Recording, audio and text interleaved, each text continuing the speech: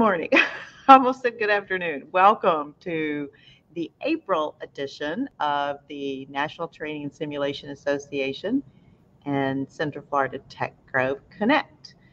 For those of you that haven't joined us in the past, we are doing these webinars each month for seven months, highlighting the story and the people and the innovation behind the best papers and the best tutorial from ITSEC the previous year.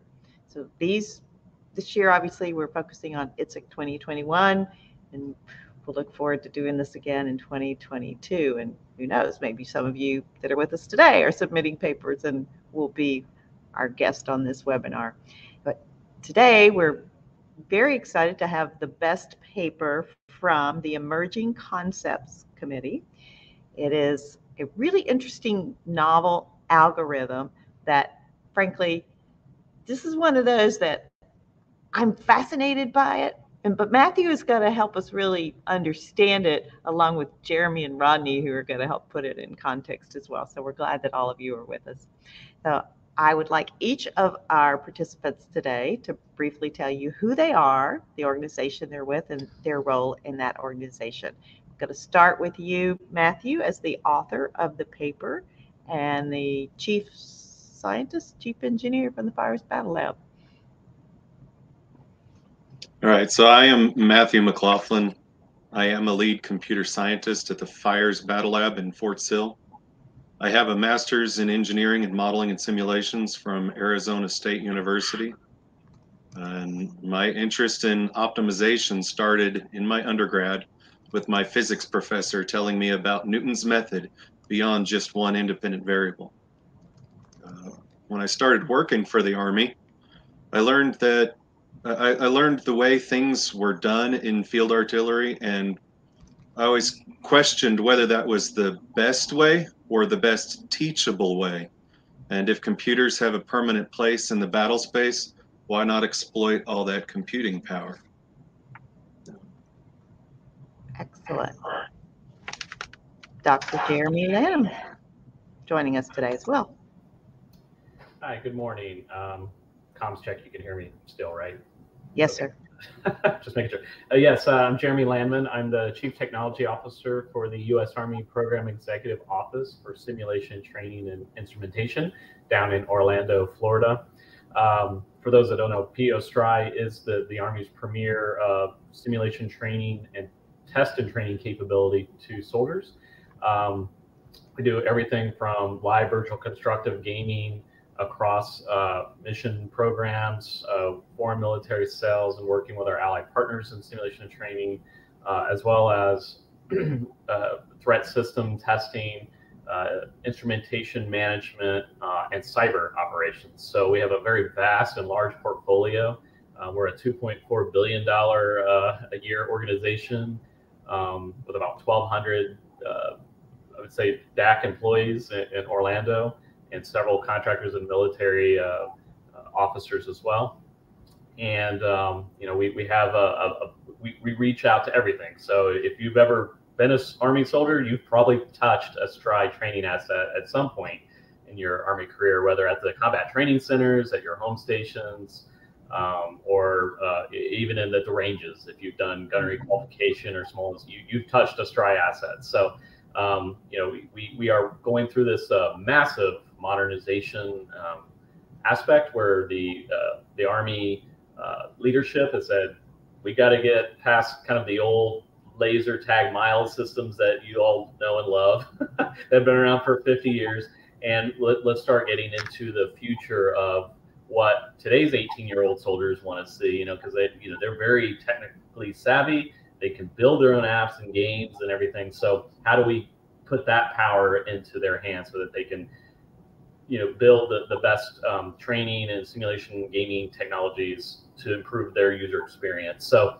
um, you know a little bit of a paradigm shift on how we do things trying to be more efficient uh, optimize as we'll talk about today you know how do we you know optimize some of our processes our simulations our how we plan prepare execute assess um, you know our, our, throughout the whole training spectrum for, for our soldiers and you know in that continuous improvement so ai machine learning deep learning is a, a very critical technology area that we've, I would say, not done a lot with really in the old gaming and simulation world. Everything's been pretty deterministic, you know. So going to a more organized, stochastic way of uh, you know training is a, a, different of a paradigm shift for soldier training with respect to you know making sure we man, you know, work to doctrine and, and, and those areas. So um, definitely a, a, lot of cool and interesting um, things going on in the Army with respect to where we're modernizing both in simulation, uh, gaming, cyber operations, and uh, test and training operations. So um, definitely look forward to the discussion today, and uh,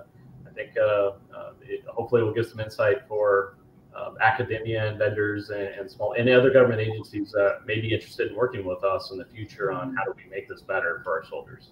Thank you. Thank you, Jeremy. Rodney Lusher. Rodney's joining us also from the Fires Battle Lab, and I just learned this morning he's a UCF, University of Central Florida Knight, one of our own alumni. So Rodney, welcome this morning. Yeah. Uh, so I'm Rod Lusher, and I work here at Fort Sill. I am no longer in the Battle Lab, but uh, two years ago I was in the same office as Matt McLaughlin. But I'm a career field artillery officer, so uh, teaming up with with Matt sort of worked well, I think, for both of us.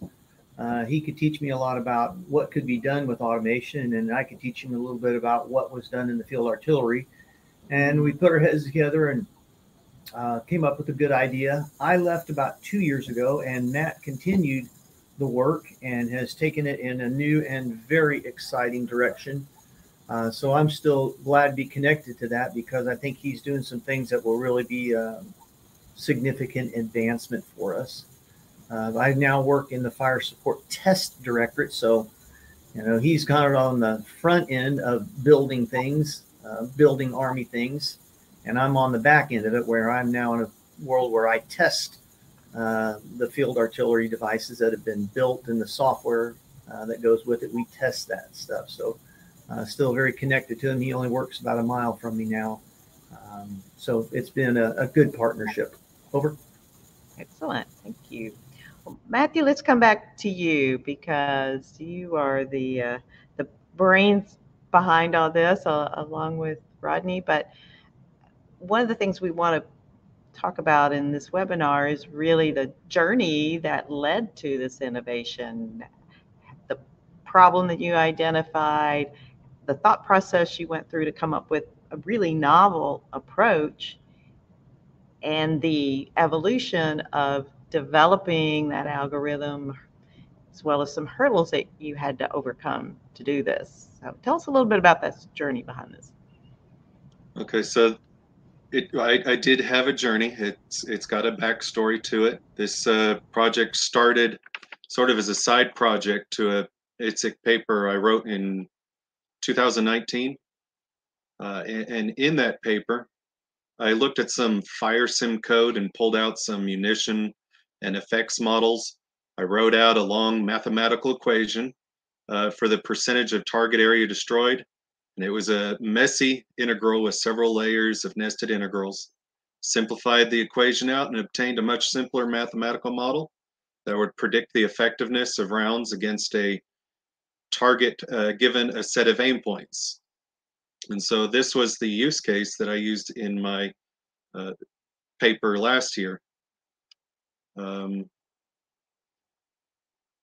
uh, so I, I, I, manipulated that math model even further by discretizing the sample points into a grid, putting boundaries uh, against the bell curve tails, and intersecting these boundaries with the target area so it would run as efficiently as possible on computers. Then I took that model and I put it in an open source optimizer called GSL. Uh, the optimizer would move around aim points around in order to maximize the lethal area or effectiveness of the aim point solution. Now I know that from using optimizers, there are parameters that need to be set that are separate from my other inputs. These factors do not have a mathematical role in the objective function, but are important for the algorithms in solving the problem.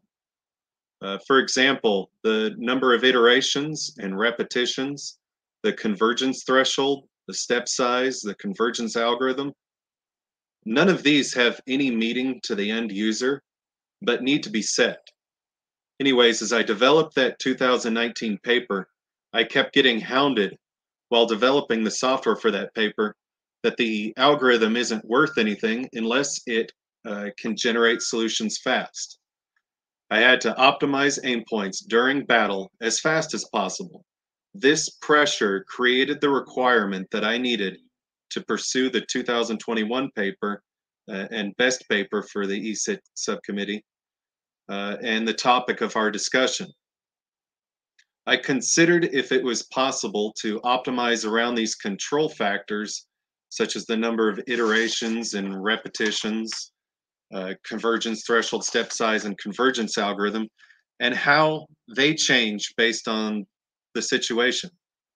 I wrote down some notes and stuffed them into my desk drawer and finished the 2019 paper and presented it.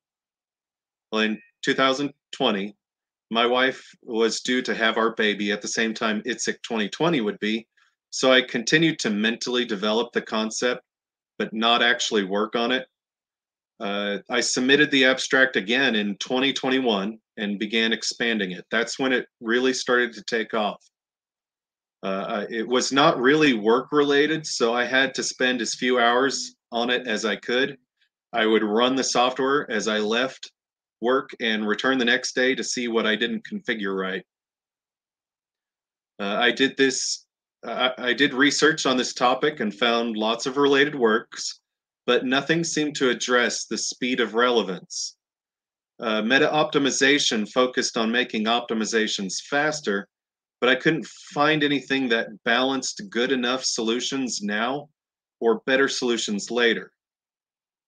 Um, I know that the, a, a lot of academic or business applications for optimizing, including machine learning, are, are are part of larger projects and that deadlines are more or less arbitrary. These organizations can solve problems with inefficiencies by just throwing more computing power at it. However, in military applications, the, the moment of action has passed. And good enough solutions now could mean the difference between life and death. The computing power is also limited, especially when the enemy is degrading your network. Uh, on the other hand, inefficiencies are going to eat into the munition inventory and also the defense budget. I wanted to give that, that control to the commander with one dial and train a tunable meta optimizer to avoid the intersection of low quality solutions and long processing time. I mentioned in the presentation, but I'll mention it here again. Even this dial can be optimized out if I have a moving target and I dead reckon uncertainty and its velocity over time, uh, its target location error quickly degrades. A solution is needed more immediately uh, to get effects on it. However, a stationary target can afford a longer time on target. So I can find I can uh, find where so I can so in order to optimize out that dial, I can find uh, where solution quality at time equals zero intersects the degradation of the solution to obtain an optimal deadline. Now, anyways, for anyone who's unfamiliar with the process I explained at ITSEC, I created a meta model for the software I'm trying to optimize. In my use case, this was the aimpoint solution generator. This meta model would predict processing time and solution quality so that the processing time is not realized when I train the meta optimizer. You could train the meta optimizer with the real software, but it would take a lot longer as it must wait that amount of processing time to obtain a, obtain a score.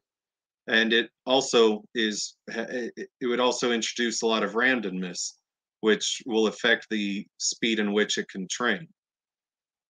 So with this meta model, uh, it's trained using supervised learning. Uh, once it accurately predicts how long the software takes, given a collection of inputs and control variables, I use it to train the meta optimizer. It plays with the meta model in a reinforcement or transfer learning environment to exploit the control configurations given a set of inputs. It becomes a tunable meta optimizer if I also score it compared to the dial uh, that I give the user control over. If the dial represents a deadline, failing to meet the deadline punishes the untrained meta optimizer model. Given this concept, that's that's all I got to say about my military centric use case.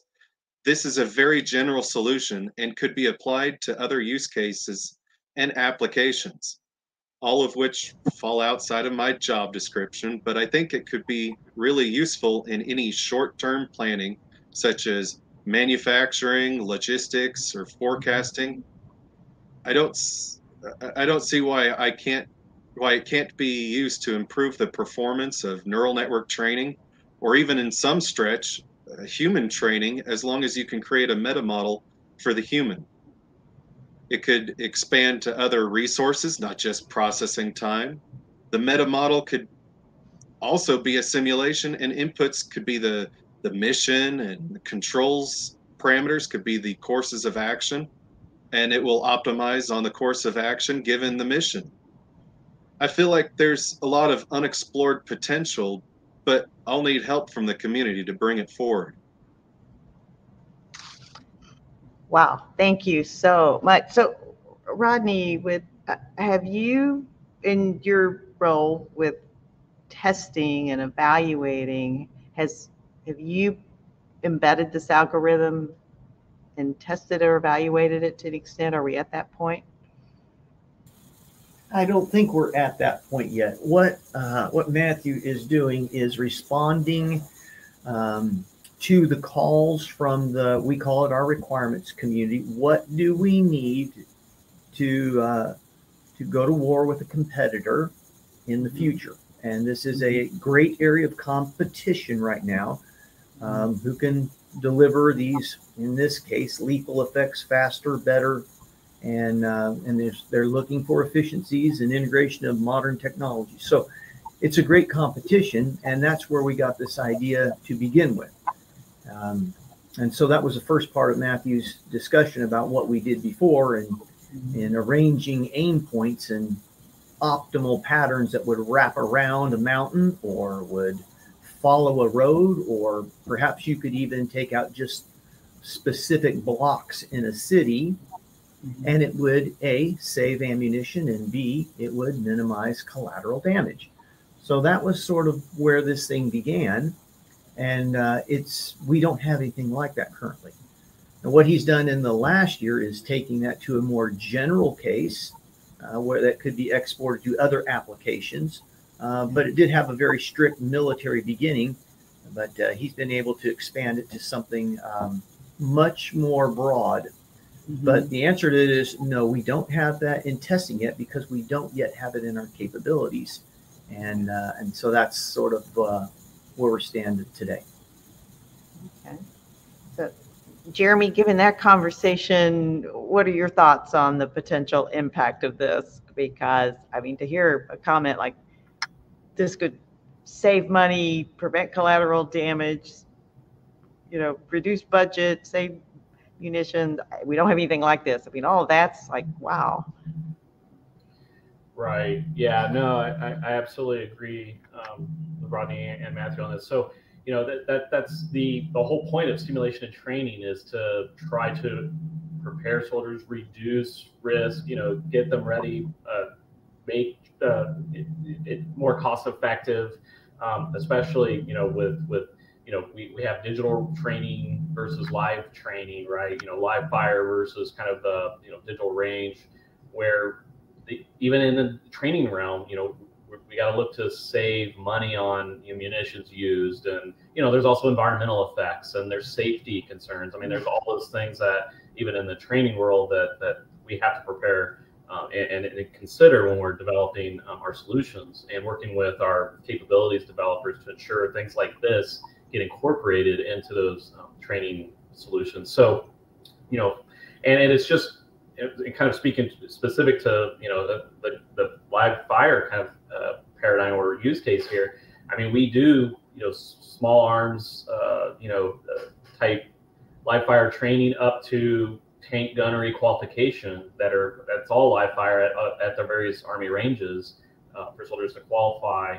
Um, and then the master gunner is there to ensure you know things are going well. But a lot of that is still relatively manual. There's not a lot of um, optimization applied. You know, there's there's not a lot of AI machine learning applied. It's really, you know, here's your system to collect the data, uh, and then it's, it's kind of the master gunner really out there or, or the trainer out there um, facilitating everything. So what we want to do is put the right tools in the hands of that trainer to be able to, as Matthew stated, it dial that you know what's really important to them at that moment with that unit or that soldier. You know, really, how do you uh, really um, customize that experience for that soldier so they can make those decisions based on how they feel because we want to give that power to those trainers to, and, and the commanders to make the decisions on what's really important um, you know the cost you know depending on the environment the the scenario and everything. So um, definitely critical.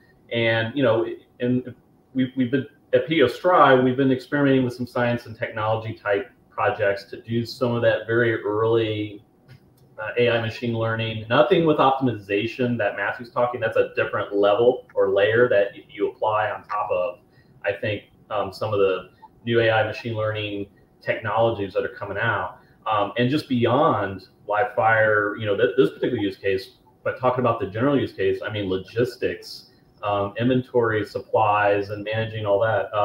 Structuring uh, data, you know, because we, we have to integrate with multiple authoritative data sets and how do you optimize that networks, um, you know, being able to tune networks based on your scenario.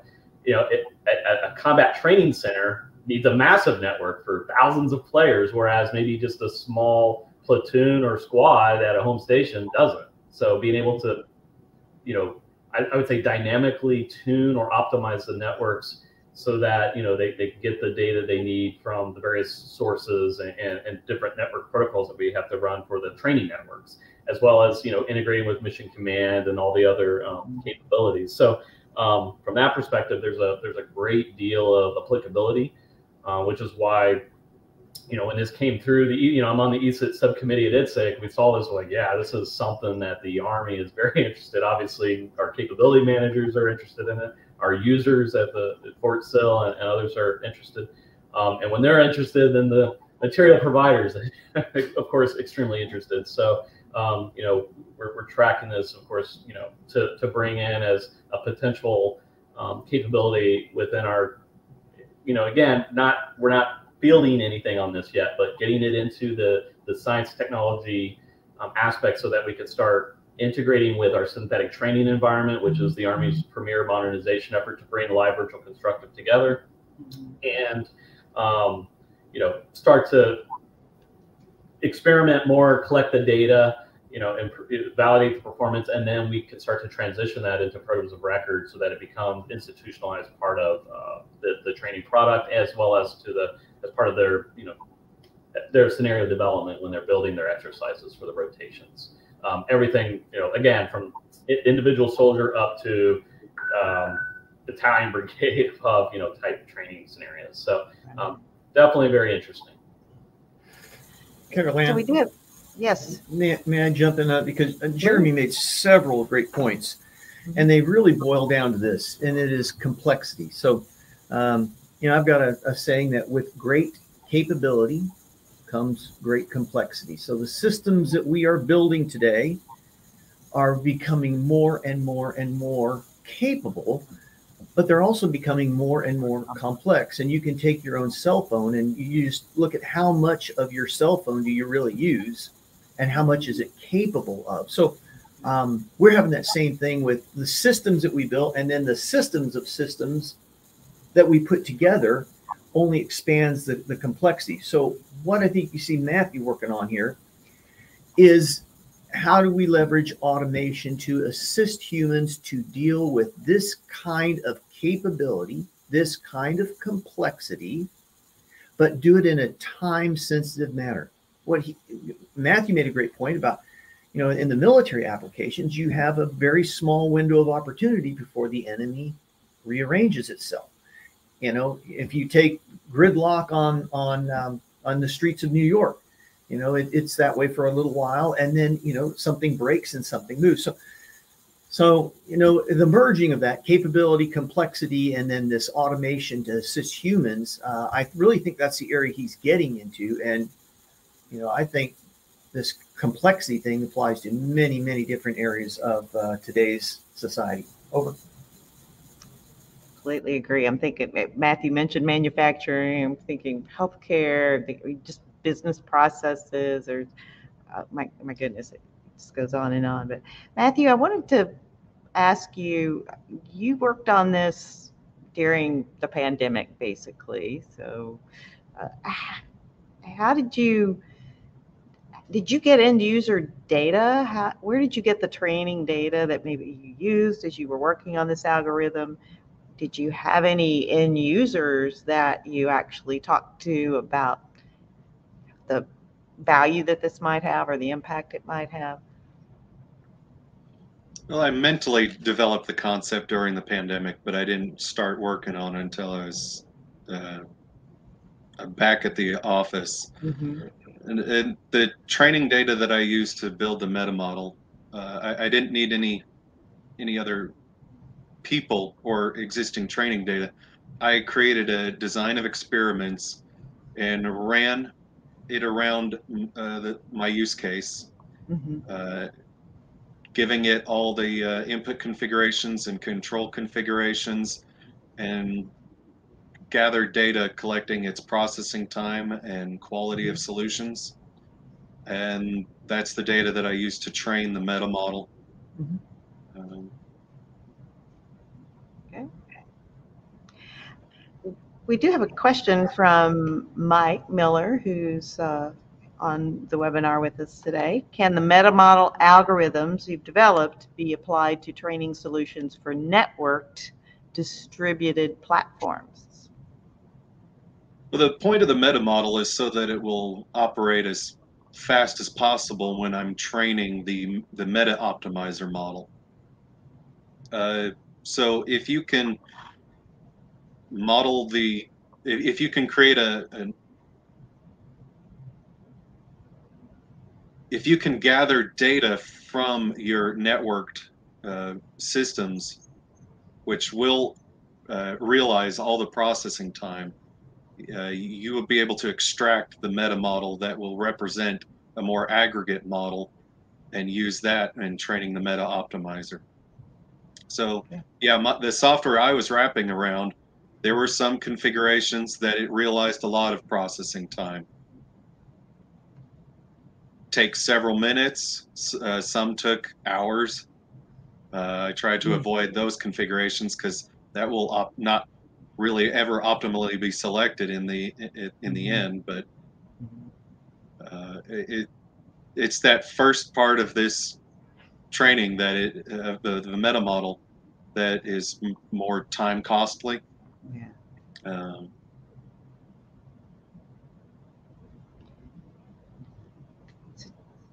we also have a question uh, jack who's on the webinar with us can this be used by or for logistics.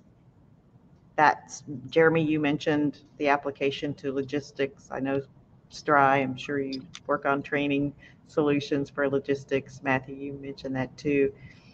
So I, I, I, believe so. Uh, it's not a use case that I have explored, but in the most general case, so I've mentioned applications in manufacturing, logistics, and forecasting uh, anything with dynamic initial conditions uh, and and little time to wait for solutions. The cons- the constraint is that the algorithm parameters need to be accessible and configurable. Uh, as a software programmer, we've been told never to hard code numbers, but make them everything configurable. So oftentimes we make them configurable, but only to uh, the software development team. So, and, and once that code compiles, all those numbers become hard coded. In other software applications like MATLAB and R, everything that feeds the algorithm is given to the user. So I can select things like back propagation algorithm. And software developers for these types of application should build this type of model, this uh, this meta optimization model into their software development pipeline. Uh, that was actually a big section of my paper before I Im- imposed the ITSEC page limit, uh, and so I had to cut the my section on software development pipeline. But any software that exposes algorithmic parameters, this could wrap around so that it makes that software behave more optimally. And so, yeah, there's logistics algorithms, uh, manufacturing algorithms. I took a class during my master's on manufacturing and learned Mhm. about all that engineering and and algorithms and heuristic models. But I see this with a, a lot of applications I- anywhere.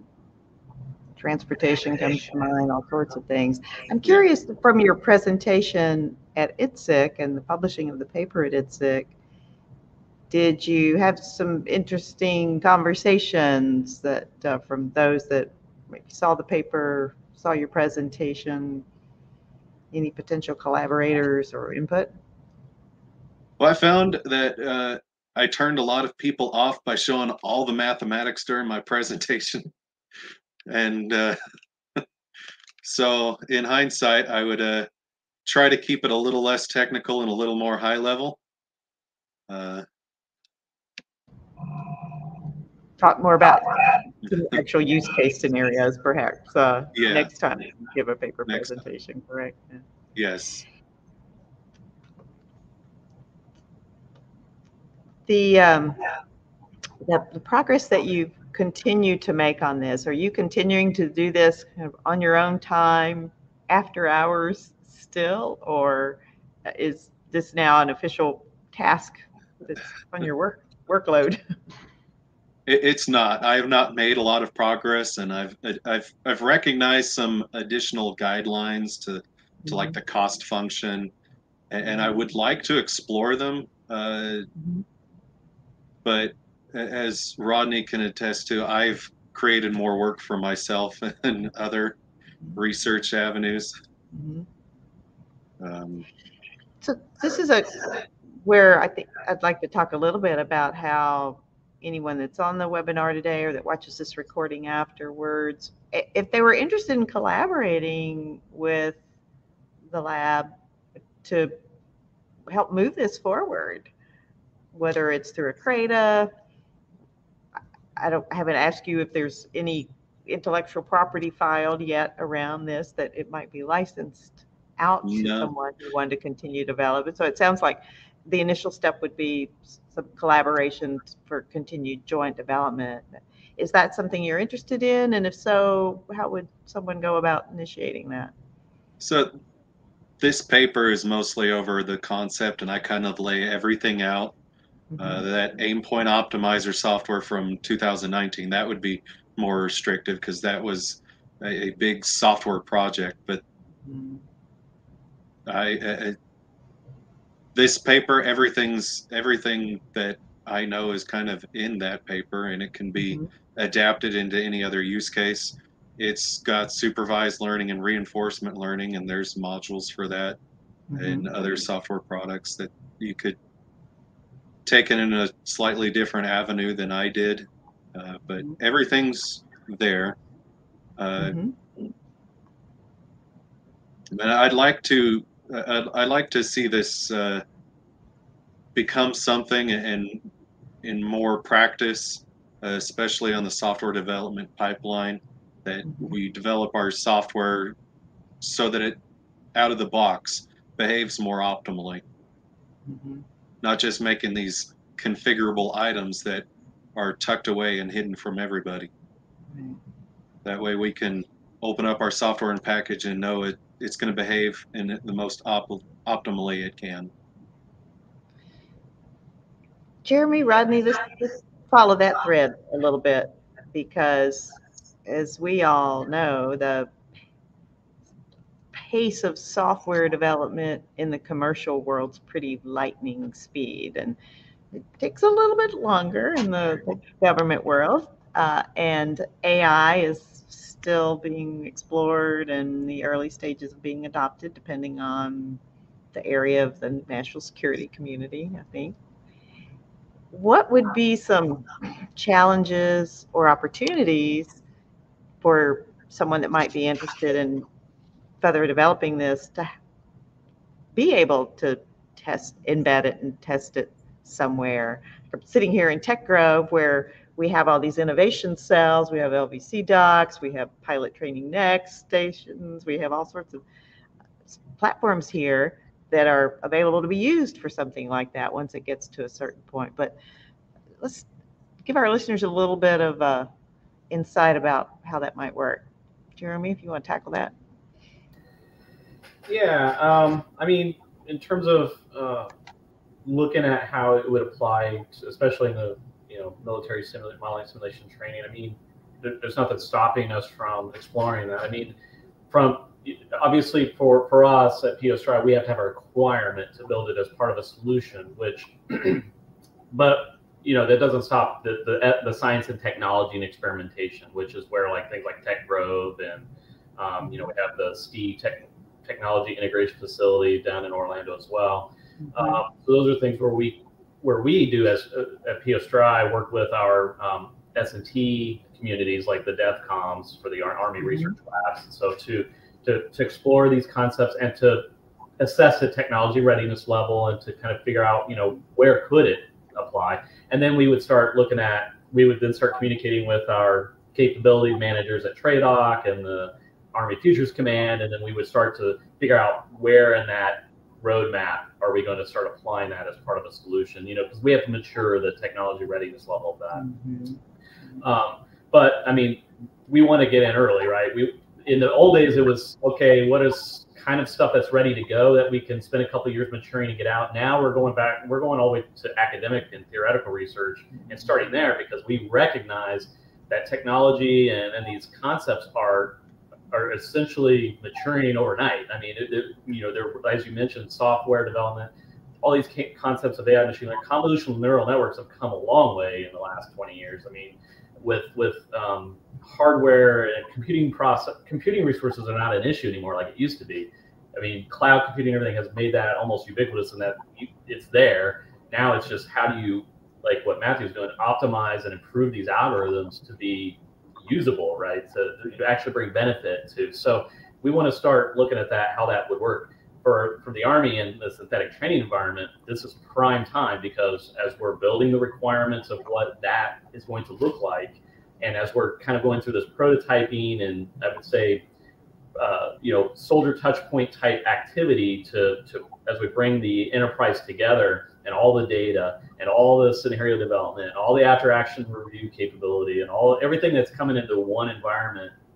Um, stuff like uh, these things are critical to be able to optimize all of those processes. We want to automate everything: the software development, all the software pipelines, the you know the you know you, you, we talk about DevSecOps and digital engineering. Uh, this optimization stuff needs to be applied to those worlds so that we can incrementally and, and quickly and agile, as the DoD now tells us to do, even though you know the acquisition process is still catching up with that. But you know we want to get to that agile aspect of getting capability out and bringing in all kinds of vendors in to help do that. So for us, as as was I think published last week, um, the C platform development kit is now available for vendors to mm-hmm. yeah. request.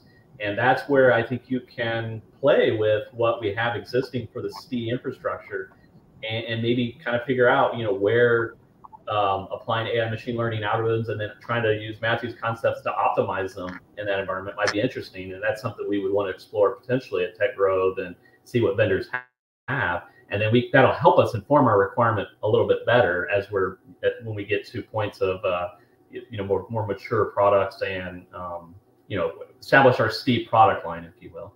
So um, also intelligent tutoring. Uh, you know we're getting big into uh, you know helping the soldiers in terms of how to use the systems and as well as other users. So that area we talk logistics and sustainment, um, just maintaining inventories, spare parts, and things of all of our uh, uh, systems. I mean, because we're not just software, we're also hardware assets, we're Internet of Thing devices, edge devices, computing resources, and we we PO manage everything. You know, we're the entire system lifecycle owner of everything that we field. So, you know, there's there's a lot of application, not just the software, but I think across, um, you know, the, the, the system lifecycle, product line management of these things, where, where we could improve and automate uh, a lot of the uh, processes and and timelines, hopefully. Um, you know, we talked about network optimization, um, reducing time to build scenarios, and, and um, applying to, uh, you know, the assessments and, and getting soldiers real-time feedback on and, custom feedback for them on their uh, training exercises versus giving them a tech. You know, we it, today we give them a take-home package on a DVD or CD that gets tossed into the corner somewhere. You know, what we really want is to be able to provide them real-time feedback, tie that training to their training records, and, and you know, and you know, as part of the their as they go out through their careers, so that when they come back to any whether it's a combat training center, home station, digital range, or fire range, or wherever they're at, or even if they're deployed, or if they're even on the uh, operational tactical system like a, a tank or an aviation platform like you know the the Blackhawk or something, you know, we we're gonna have embedded training capabilities on those systems, and and we got to tie all that together. It's a hard problem. It's it, as um, Rodney said, it's extremely complex. It's getting more complex by the day but things like what Matthew's doing can help us manage that complexity and make life hopefully easier, not only for you know the combat and material developers, but also for the user, well, ultimately for the users and for vendors to understand how to play in this new world that we're dealing at, dealing with. Um, and, and, we're looking for those innovative ideas from everyone. Um, not we're not solely looking at just traditional vendors or anything. We're we're no kidding. You know what what are folks doing out there? That we can bring on quickly, assess, and then potentially roadmap it strategic. You know, as we come up with our strategy, we can potentially roadmap that into a capability or a feature mm-hmm. uh, in a future uh, mm-hmm. release or uh, product solution. So, all right, over.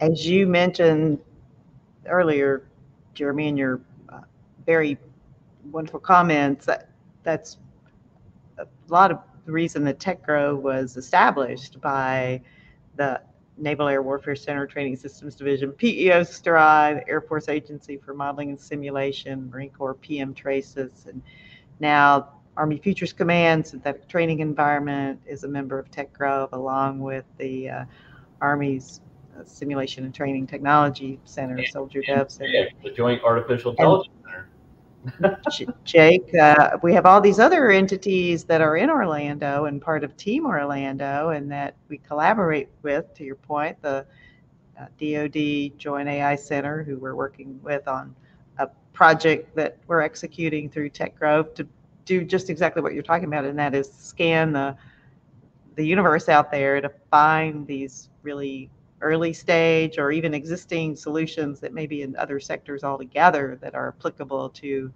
a need in training that uh, would have some AI capabilities um, underlying it. So for those of you that are with us on the webinar today, there are lots of ways to connect in to this community. If you are not a member of some of the other transaction consortium, such as the Joint AI Center, they Tradewind is the name of their consortia. T-REX, the Training and Readiness Accelerator, is uh, stood up by PEO STRI actually. It is a consortium for simulation and training needs. There's lots of other consortium out there tied to naval aviation and other things that would be happy to tell you more about. We'd love for you to connect to TechGrove. Certainly, just go to our website, centralfloridatechgrove.org, fill out that contact us form, and we'll get you in our network and share with us your capabilities and what you're looking for. Part of what we want to do is help connect you to innovators like Matthew, for example, because what he's doing needs collaborators to help move it forward so it could get to the point where it could be embedded in whether it's military applications or even other commercial applications. I'm really excited about some of the commercial applications as well. So I'm sitting here thinking about how do we get the word out beyond the, just the NTSA community even about this really novel opportunity. So there's further discussion around that. But uh, any other just a reminder to those that are on the webinar, if you have some other questions or even just comments that you'd like to make, observations, be sure you put those in there. But Matthew, I would like to hear about your other work that you're doing there in the Fire Battle Lab. Because you, while this is not on your actual work responsibilities list, and a lot of things are. So tell us about, to the extent you can, some of the problems that you're working on solving today. Uh, so I, I, I, work with, uh, like right now, I, I've got to focus on AI uh, in simulation. And so I, I, I, like the idea of AI and machine learning solutions, but I think there are more strategic approaches that can be employed when when the problem is decomposed. So, for example, in a sensor to shooter pipeline, sensor fusion and correlation is a math problem. Weapon effectiveness uh, on a target is another math problem to determine the probability of kill. Uh, weapon target pairing is an NP complete optimization problem. Uh, and the only thing that are left that cannot be explained is an AI ML problem. So if I have this whole pipeline that's all mathematically driven, I can narrow the scope of AI to just explain what I can't explain. And so in this situation, that uh, some kind of cost model in the in this pipeline uh, that that keeps you more conservative on the number of rounds, so you don't run out, or or assign target priorities is another AI, and you just you can train those through a simulation.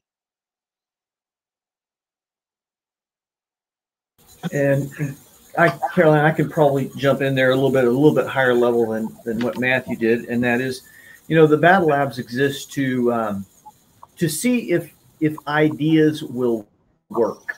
So typically, you have concepts that that precede experimentation, and this concept is usually written in a white paper, and somebody has an idea, and it seems like it's got some merit. So we want to explore it a little bit deeper. And the experimentation community then takes that and runs experiments to find out whether or not this concept would work.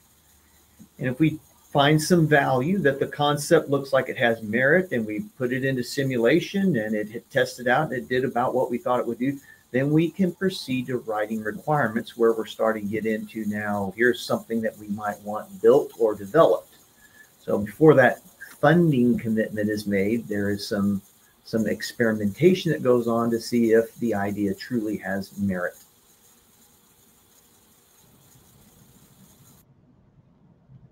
Thank you for that. There, there's a process, right? there, there's steps along the path to moving something like this forward. Obviously, that.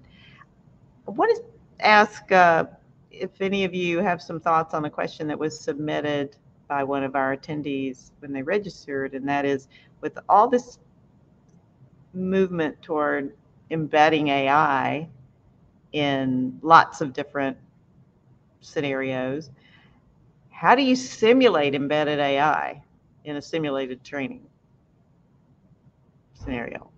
I'm, I'm not, I can't quite wrap my head around the question, but if you're using AI to help improve and drive the simulation itself, how do you simulate the, the AI that may be in the software. So AI in simulation, it depends on what what you need. If it's AI is if you're just looking for the effect of AI, then if you can configure your your simulated system to have improved processing time or improved effectiveness against uh, a target, then I could just be modeling the effect of AI rather than AI itself inside the simulation. Mm-hmm. Mm-hmm. That makes um, sense. And uh, Link, hopefully that addressed your question. If not, then uh, put some comments in the chat. Uh, there's some comments in the to chat about ROI of AI, and I, from what I've seen, really trying to get hands around that whole life cycle return on investment is not easy now. How does that get more complicated when you start going to these more complicated solutions, maybe with a lot of AI and machine learning? Or does that become easier perhaps with the AI embedded in there? Can the AI itself help calculate or define that ROI? I'm not sure my question even makes sense, but it's, it's rolling around in my head. yeah, Caroline, I mean, uh, I can kind of give an example of where we kind of got some ROI from some early application of uh, machine learning. So um, a couple of, probably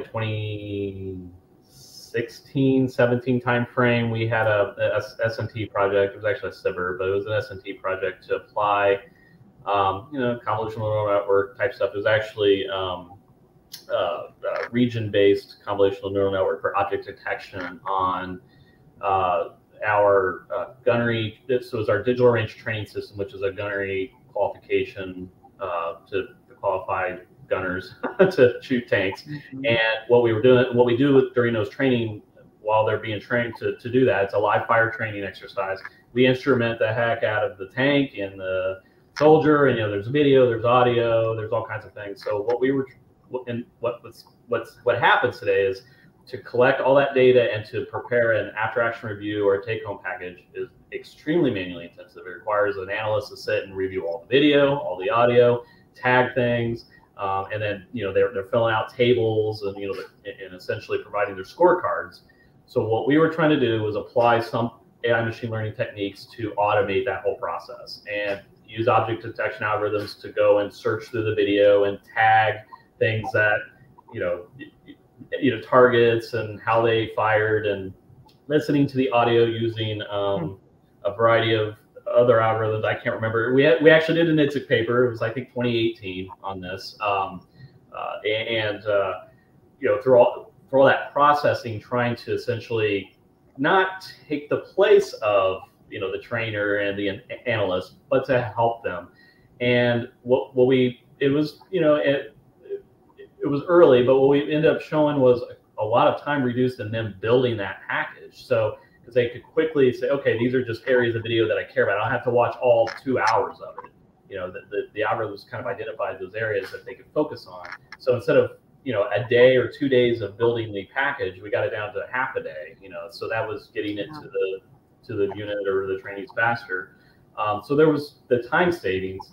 Um, and there's a cost savings as well because you're, you know, you're you're not taking as much time from the analyst. They can now do multiple other things um, and, and. So there was the we think there was some ROI or potential ROI that we, we see from you know having that process automated using this as a as a way to move that forward. Now I kind of sense we haven't done much with it since because COVID came in. It was hard to get you know, but the other challenge was data. So you know training these algorithms in the past has been incredibly hard. I mean, you know, there's a lot of different convolutional neural networks out there. There's a lot of different algorithm implementations. You know, you, there's trade-offs between you know organized structure, you know, whether it's structured data or unstructured data, how well it's organized, how much you have.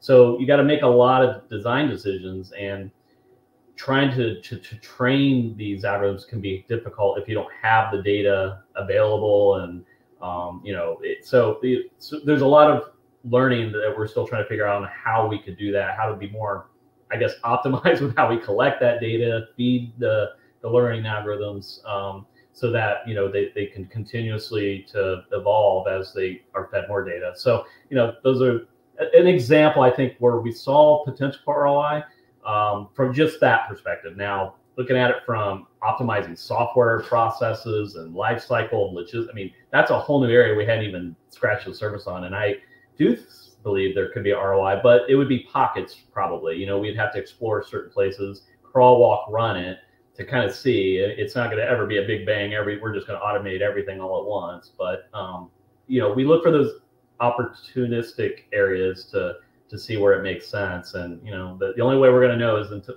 we got to experiment, right? We got to get out there and you know play with these technologies and apply them and see what just kind of see what the art of the possible is there. Over.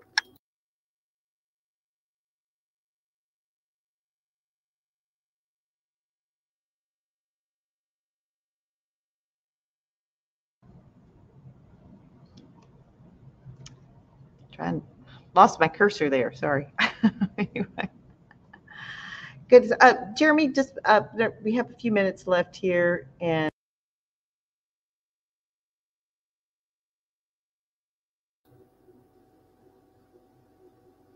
Caroline, I lost you.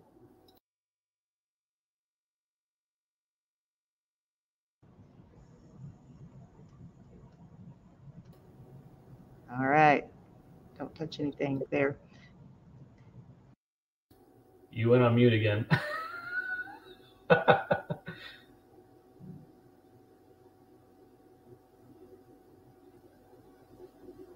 Hmm, we hear you now. Okay, I'm really not touching anything. It's AI. I know. I tell you, it's it's a bit of a spooky world sometimes. I I, I tell you, though, there that's a whole nother conversation about all the the ethics and the the uh, psychological impact of AI, right? So that's for another day.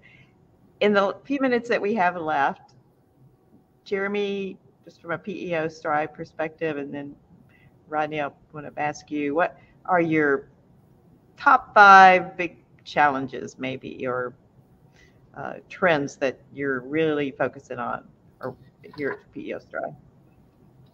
Uh, with respect to AI machine learning or Any anything? Yeah, okay. Um, y'all do a lot. Yeah, um, obviously, you know, when I mentioned at the beginning, a synthetic training environment is our main modernization program. Um, as we collapse the, you know, the traditional live virtual constructive stovepipey domains into one, essentially, and I hate to use this term because it's so overly used and it's kind of cartoony, but it's the metaverse, right? It's the army metaverse, and um, essentially having all of the you know, that one-stop shop of, of all the army simulation training needs for soldiers. So their their gaming, their virtual experience, uh, and, and and as well as the live training, which is interesting, um, bringing that into the fold and having everything be fully immersive, augmented, including augmented reality and extended reality, um, and, um, and and of course now the introduction of the cyber training, uh, you know, the, the, the ethical hacking and um, defensive hacking and things like that that are coming in. Um, so, and, and as well as a variety of other information operations. So, for us, you know, looking at how you know we can do better with decision modeling and analysis, uh, automation, obviously, adaptive scenario generation for uh, our, our, our exercises. Um, we want more autonomous simulated forces and agents within our gaming environment um, that are, you know, you know, like I said today, like you think of the traditional programs, they, they are more or less deterministic with rules engines, but maybe something more stochastic, but intelligent enough to, you know, it semantically understands, you know, the, the, the training scenario and how soldiers are engaging uh, first with, with stimuli. Um, and then the sensor fusion problem, bringing in all that data, because that's just new data that's coming in that that's going to augment all of the, the traditional scenario and simulation data, as well as all the position location information and, and comms and video and everything else that goes on. Mhm. Cybersecurity absolutely will be, um, you know, how do we get to, I keep hearing continuous ATO, but I've never seen a good actual implementation of it. Is, is this going to help us get there? Because I'm tired of fighting to get ATOs all the time. So if, if there's a way to do that, um, I'm, I'm all ears um, for, for across the, the simulation training spectrum for I'm sure others as well um, robotics and um, uh, trackless vehicles that we, we often we actually field today, um, and, and be, making those smarter and more interesting. Um, we talked about after action review and the whole uh, training paradigm, data analytics and heuristics. Um, you know, just doing better with our data. We do have a ton of data. We just don't know how to organize it and understand it real quick. Like be able to, you know, no kidding you know what is our what is our data telling us training data simulation right. data all that and, and, there's just you know object detections anomalies blockchains data record management um, you know aggregating data sets uh, network optimization there's just so many things that i think this whole area applies to and we just don't know what we don't know. It's like, okay, there's a lot of cool stuff. We see a lot of cool stuff, but how does it really apply to Army training? And it also applies to Navy, Marine Corps, and Air Force. I mean, they all we all do similar things. So whatever is being done in this world, I think applies to all of us. It's but how do we figure that out? I think that's kind of the our biggest challenges from from that perspective. I just see more and more opportunities for companies to engage in in CRADAs to do some initial testing, to access your data, but try run it through their solution, depending and just see what the world of possibilities might be. So I, I know we're having more and more conversations with companies that are coming to Tech Grove and around those kind of cooperative development agreements as a really quick way to get started in collaborating and, and see where it might go. Now, in the two and a half minutes we have left, Rodney, Matthew, any last comments or words you'd like to share with our? Yeah, I'll, I'll share with you a few things I think we're dealing with, and some of these I've already hit, and that is dealing with complexity. So if you have systems that are greatly capable, uh, it makes them also greatly complex. So how can we help users deal with that complexity so that they can take advantage of the capabilities? That's number one. Number two is in the business we're in, how do we win uh, the competition? We have threats out there that are moving things forward, and we can't afford to get to showtime and and bring inferior capabilities. So the uh, the military's done a great job emphasizing innovations. And I think that's what you see Matthew working now, coming up with innovations that give us that next step and doing a great job. Um, the other thing that challenges is what technologies do we need? Now, this is my current job. What technologies do we need to test these capabilities that are coming down the road? A little bit of that is crystal ball. We got to see the capability, but we sort of have to, to test it. We've got to be sort of working in parallel with development so that when it's it's ready, you know, it's not a six or nine month delay that for us to get ready. So we've got to keep current. And the last thing I would say is is um, AI. What is that going to do to testing? So how do we isolate AI issues from human issues? And I think there's some work going on in in being able to uh, classify uh, faults and anomalies into one one camp or the other. Over. Excellent insight. Thank you so much for both of you. And Matthew is the reason that we're all here on this webinar today, thanks to your innovative work. What uh, final words would you like to share with our guests? Oh, uh, so to answer Rodney, AI can be used in testing. Uh, AI uh, and, and especially in a reinforcement learning environment, it's going to find ways to exploit. So it's going to identify problems probably even faster than a human in testing. So there is a lot of uh, AI in testing research done. Um, I could point you to some of that. Uh, but other than that, yeah, I, I, I want to see this go somewhere. I know as an engineer, I've I found a problem, I solved the problem, and now I just I, I, it's done. I put it in my desk, and then nothing ever happens. Uh, want to get that across the threshold into the hands of somebody who can do something with it, right? Yes. I know that would, be exciting for you. So hopefully, somebody that's been with us today will want to have further conversations about that. Uh, and I thank you all for joining us. Our next NTSA Tech Grove Connect is actually going to be Wednesday, May 18th. So it's a little deviation from our normal schedule. But watch our LinkedIn page. If you're fill out that contact form on our website, uh, we'll, you'll get the announcement directly about it. And that one's going to be about artificial intelligence in combat casualty care. We're looking going to move into a medical world in our next one. Thank you so much for joining us today, and uh, hope all of you have a blessed Easter. Thank you. Thank you.